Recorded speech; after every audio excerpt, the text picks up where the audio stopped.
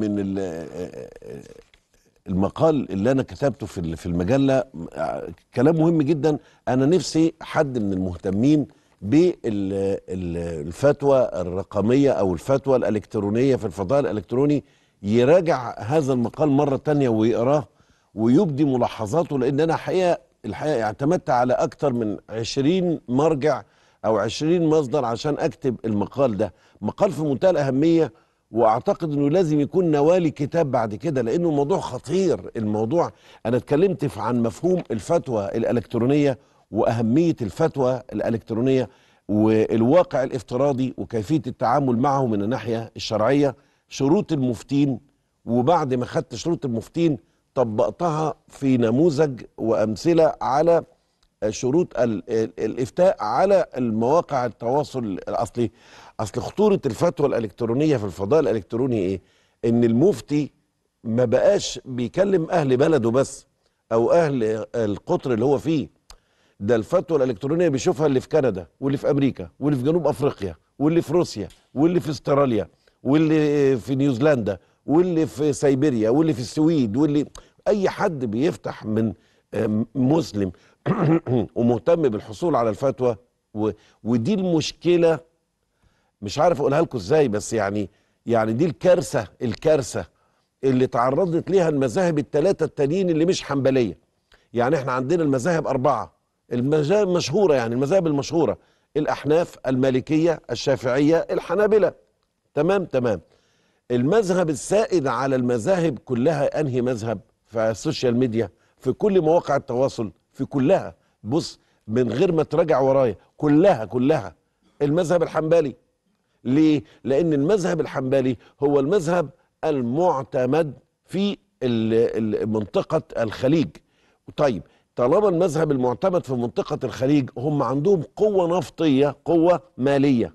خلتهم يقدروا يفرضوا يفرضوا الفكر الحنبلي أو الفكر المذهبي الحنبلي على كل صفحات ال social media.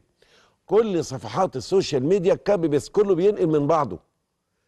كله بين وبالتالي لما تدور على فتوى عن مسألة من المسائل رأي الشافعية فيها رأي الأحناف رأي المالكية احتمال تلقى واحتمال ما تلقاش. وإن لقيت المعلومة عن المذاهب التانية هتلقاها على استحياء.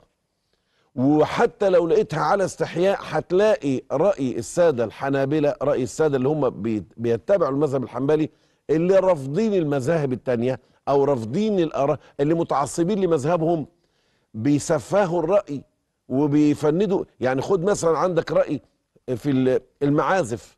شوف حضرتك آه، ما بيتحملوش الرأي الفقه الحنبلي ما بيتحملش فكرة المعازف أو الموسيقى. وبيتهموا اللي بيبيعها إنه فاجر وفاسد ويندرب. شوفوا رأي فوائد البنوك. شوفوا رأي قضية الطلاق الشفوي اللي بنتكلم عنها. شوفوا رأي مثلا قضية قضايا آه، آه، آه، كثيرة في البيوع آه، في البيع بالتقسيط. شوفوا رأي الرأي حكم إطلاق اللحية. لازم تلقى الرأي الحنبلي بس في المسألة. يعني مش هتلقى رأي الشوافع إن حلاقة اللحية ما هياش حرام إنما مكروهة عند الشافعية. إيه، هتلقى الكلام ده؟ لا مش هتلقى الكلام ده. واللي لقيته هتلقاه 20 مليون واحد ردد عليه من اللي بينتموا للفكر الحنبلي وبيحاولوا يفندوا رأي مع إنه رأي معتبر. وقالوا أئمة كبار رضي الله عنهم وأرضاهم. فأنا عاوز أقول لك الفكرة كلها هي الجنوح الجنوح نشأ من إيه؟ إن الغلبة المادية كانت عند أصحاب الفقه الحنبلي. وبالتالي أي فتوى حضرتك بتدور عليها هتلقى فيها الرأي الحنبلي بس باختصار شديد وبالتالي مش هتشوف رأي المالكية بوضوح ولا رأي الشافعية بوضوح ولا رأي السادة الأحناف بوضوح.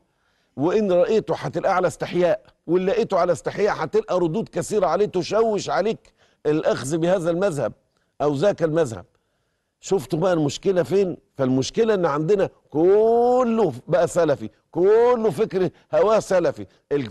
الكلام ليه ليه ليه لماذا تغلبت الأفكار السلفية لأنها الأفكار الحنبلية والأفكار الحنبلية هي أفكار آه، مدعومة. اللي بيقول عليه إيه البترو دولار البترو دولار مدعومة بنفط وبفلوس ضخ ضخ فيها شنيع ضخ شنيع. ما انتش قده.